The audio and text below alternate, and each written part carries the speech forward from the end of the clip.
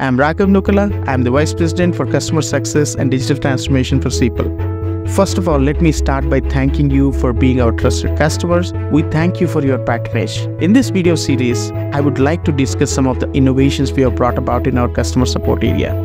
As you're aware, Ceipal has been growing at a rapid pace. This brought our own share of growth problems.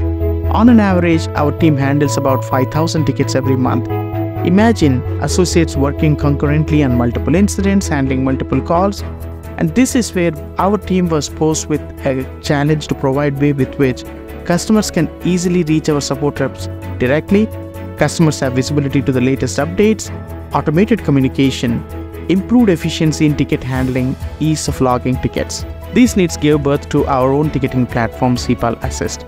We've added a number of bells and whistles to the application to make customer support accessible to customers and right from inside the application. Now, customers can log tickets directly from Ceipal applications, Ceipal ATS, Ceipal Workforce, and our customers will be moved to Ceipal Assist uh, uh, with ProcureWise as well very shortly.